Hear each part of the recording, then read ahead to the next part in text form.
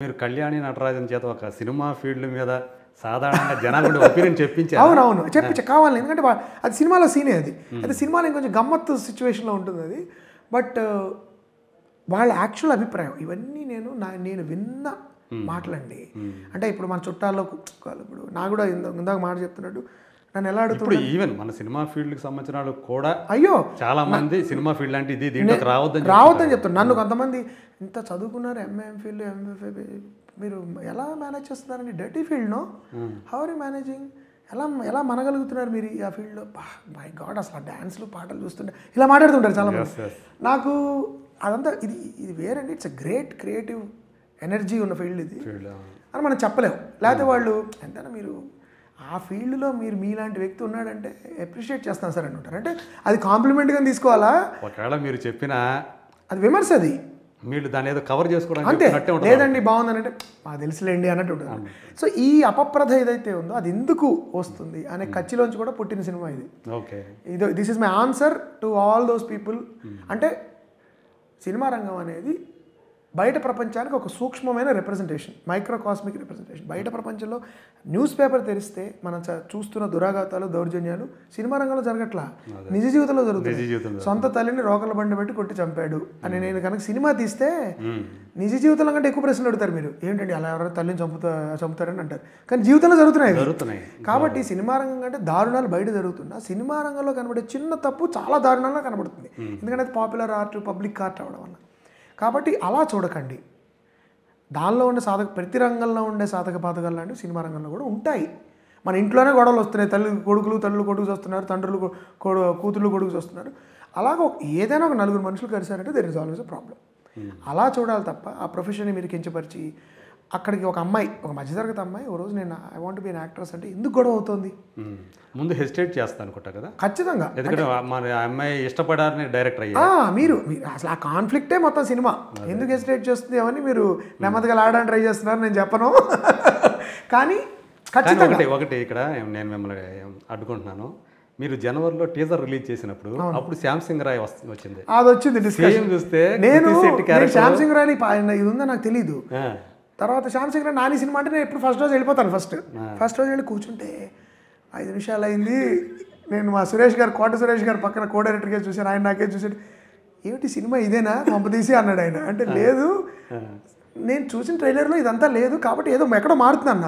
పదిహేను నిమిషాల తర్వాత వేరే కథ అయిపోయింది. మర్చిపోయాను పైగా నాని ఆ అమ్మాయి వెంట పడ్డం అయితే అయితే అలా ఉండదు. అలాంటి నాని కూడా దానిలో స్ట్రగ్లింగ్ షార్ట్ ఫిల్మ్ మేకర్ అవునవును, ఆ అమ్మాయిని తన తన ఏమంటారు డెమో ఫిల్మ్ అడగడము అవి ఉంటుంది. ఇది అలా కాదు. చిన్న ఓవర్లాప్ అంతే అది. కాబట్టి దానిలో నేను ముందర కంగారు పడ్డా. అదే యాక్ట్రెస్ రెండు కృతే. కృతి కృతి యాక్ట్రెస్ ముందర తను వద్దంటుంది. అవును.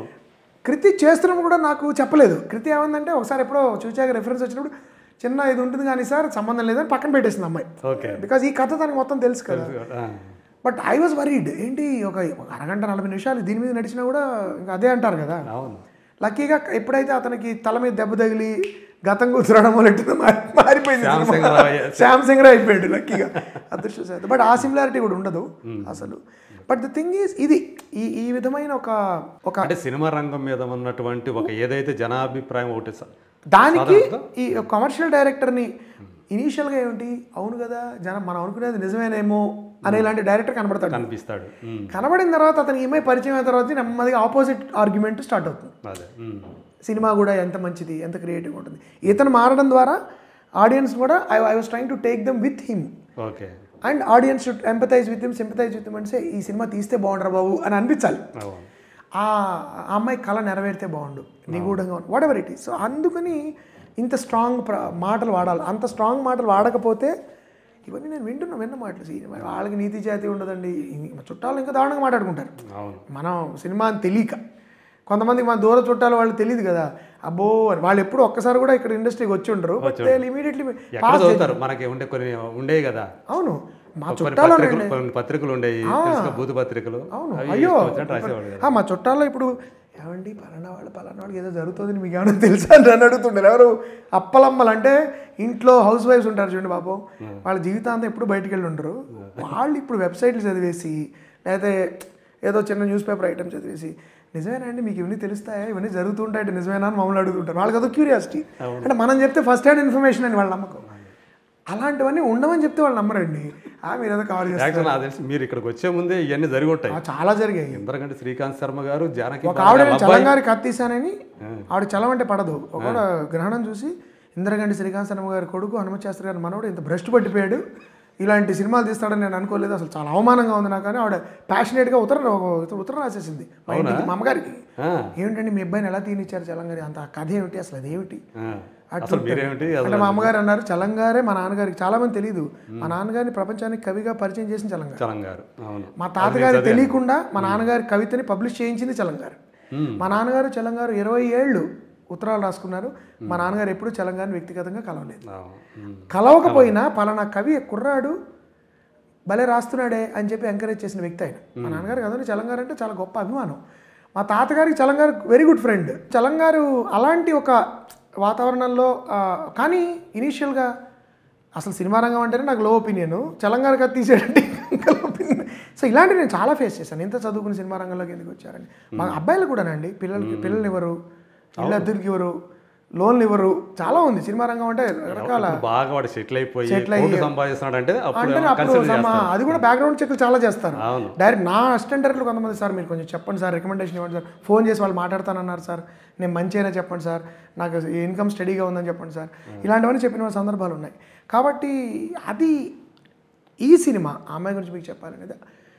ఆ అపోహలను దూరం చేసే విధంగా ఒక చర్చని స్టార్ట్ చేసే ఒక స్టార్ట్ అయితే. ఏంటి నేను ఆ ఉద్దేశంతో సినిమా తీయలేదు. జస్ట్ ఆ పాయింట్ ఉపన్యాసాలు ఇచ్చి ఊకదంపుడు ఉపన్యాసాలు ఇచ్చి సమాజం మారాలి ఇలాంటివన్నీ ఉండవు దీనిలో. చూడండి ఈ కథ చెప్తున్నాను. ఎంటర్టైనింగ్ స్టోరీ హ్యూమర్ ఉంది రొమాన్స్ ఉంది ప్రేమ డ్రామా ఉంది. వీటి అంతర్లీనంగా ఒక విషయం ఉంది. ఆ విషయం మీద దృష్టి సారించండి.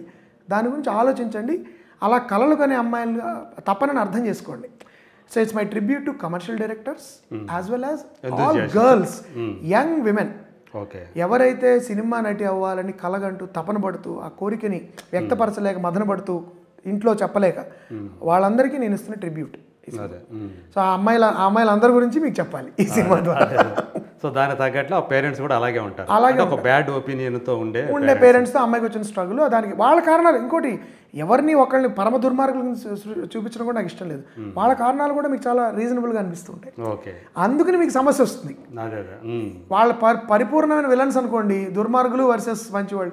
మీరు ఆ కాంప్లెక్సిటీ ప్రాబ్లం కమర్షియల్ సినిమా లాగా సినిమా లాగా నాన్న నేను అంటే అమ్మ అను ఇలా కాదు. ఆ తండ్రి మీద కూడా మీకు చివరిలో. ఆ తండ్రిని చూసి మీకు కళ్ళమ నీళ్ళు రావాలి. పొరపాటు చేసి అరే అవును కదా ఆ ప్లేస్లో ఉంటే నేను అలా ఆలోచించామండే అని ఆయన కూడా ఎంపతి వచ్చేయాలంటే ఒక నిజమే నిజ జీవితంలో పాత్రలు ఆధారంగా చేసుకుని అంటే నిజమైన మనుషులు కాదు. అలాంటి పాత్రల్ని తీసుకుని నేను చేయడానికి ప్రయత్నించాను ఎంతో కొంత ఇన్స్పిరేషన్లు అయితే ఉంటాయి కదా. ఖచ్చితంగా ఖచ్చితంగా. మనం చూసిన మనుషులు లేకుండా- ప్రభావం లేకుండా ఉండదు ఖచ్చితంగా ఖచ్చితంగా.